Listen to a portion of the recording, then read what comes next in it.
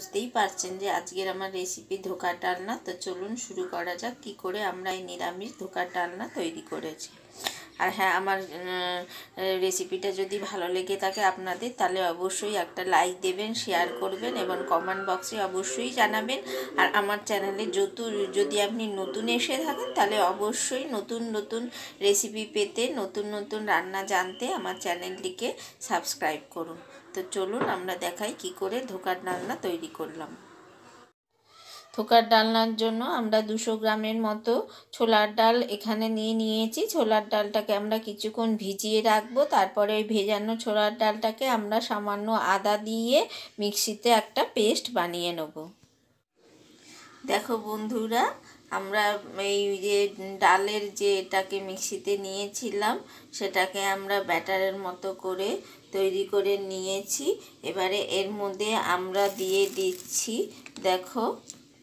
দু চামচ একটু মিষ্টি। কেন এটা একটু মিষ্টি মিষ্টি হবে? আর দিয়ে দিচ্ছি পরিমাণ মতো লবণ। দেখো, পরিমাণ মতো লবণ দিয়ে দিচ্ছি। দিয়ে এবারে আমরা এটাকে কিছুক্ষণ একটু ফাটিয়ে নিই। তো এবারে আমি তেল দিয়ে দিয়েছি। তেলটাকে একটু পুরো কড়াইতে একটু ভালো করে লাগিয়ে নেব। তেলটাও গরম হয়ে গেছে। এবারে আমরা এর মধ্যে দিয়ে দেবো সামান্য পরিমাণ গোটা জিরে।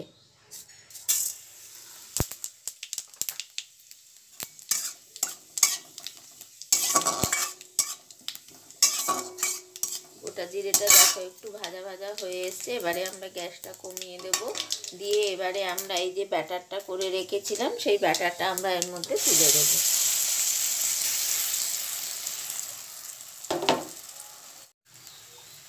ব্যাটারটা একটু দেখো, একটু নাড়াচাড়া করব। দেখবে একটু শুকিয়ে শুকিয়ে আসলে তখন আমরা এই দেখো, এখানে একটা থালার মধ্যে আমি তেল মাখিয়ে রেখেছি।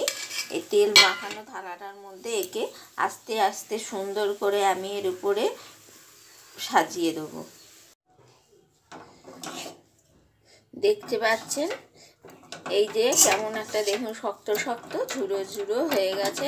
এটা এবার আমরা এই থালাটার মধ্যে লেপে দেবো। এটাকে আমরা দেখুন, থালার মধ্যে গোল করে তুলে দিয়েছি। আপনি চাইলে চৌকো করেও করতে পারেন। এবার এটাকে কিছুক্ষণের জন্য জমতে দিতে হবে।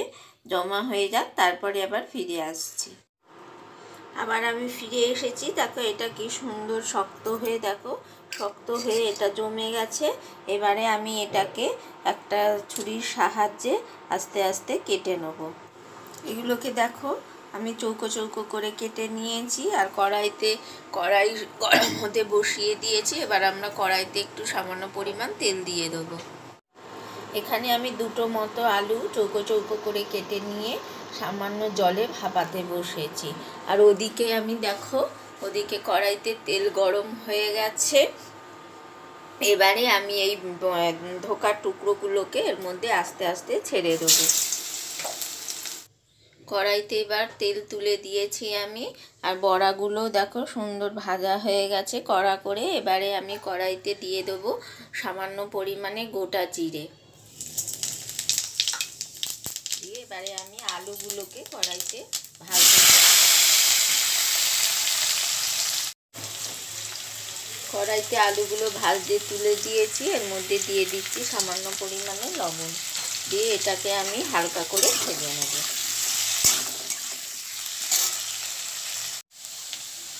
আলুগুলো আমার ভাজা হয়ে এসছে। এবারে দেখো, আমি একটা মশলা তৈরি করে রেখেছি। হলুদ গুঁড়ো, জিরে গুঁড়ো ধনে গুঁড়ো আর কাশ্মীরি লঙ্কা গুঁড়ো এবং ঝাল লঙ্কার গুঁড়ো। এই মশলাটা আমি একটু জলে গুলে রেখেছি। তো এইবারে এই মশলাটাকে আমি এই মধ্যে দিয়ে দেব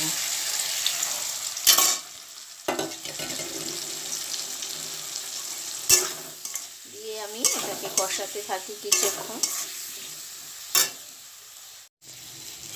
দেখো কষা, কষাতে কষাতে আমি এখন এই যে মশলার বাটি ধোয়া জল সামান্য পরিমাণে দিয়ে দিচ্ছি। আর দিয়ে দিচ্ছি দুটো কাঁচা, গোটা কাঁচা লঙ্কা। আর দিচ্ছি সামান্য পরিমাণে লবণ।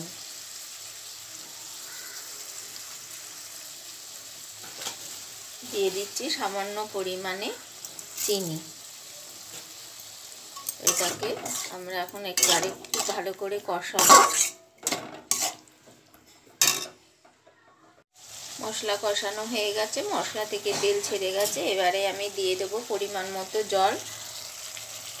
বেশি, খুব বেশি জলও আবার দেব না, কেন আমার আলুটা যেহেতু আজ সেদ্ধ করা আছে, তাই জন্য এইটুকুই আমি জল দিয়ে দিলাম। এবার জল দিয়ে আলুগুলো আমার দেখো নরম হয়ে গেছে, এবার আমি এর মধ্যে একে একে ধোকাগুলোকে দিয়ে দেবো। দিয়ে দিচ্ছি সামান্য পরিমাণে গরম মশলার গুঁড়ো। দিয়ে আমাদের রেডি হয়ে গেল নিরামিষ ধোকার ডালনা।